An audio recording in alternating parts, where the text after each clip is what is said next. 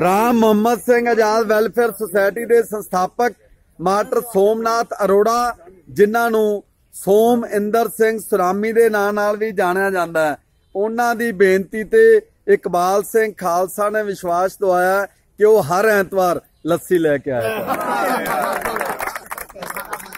ਚਾਟੀ ਦੀ ਲੱਸੀ ਹਰ ਐਤਵਾਰ ਆਇਆ ਕਰੂਗੀ।